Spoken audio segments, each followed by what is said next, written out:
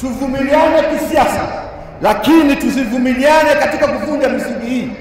Asitokee mtu yoyote kwa kisingizio chochote, iwe ni cha kisiasa, cha kidini, ama kisingizio cha kulinda uhuru wa maoni ama demokrasia, akavuruga misingi hii ambayo tumeiweka.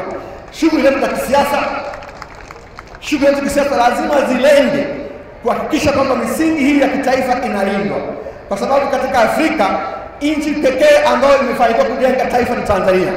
Nchi zingine zina nchi lakini hazina taifa. Sisi tumejenga taifa.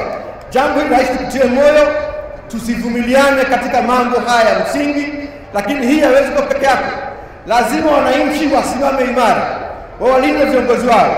Kiongozi yeyote anayefanya tendo au kutoa kauli ya kuchochea kuvunja misingi hii lazima mkemee hapo alipo.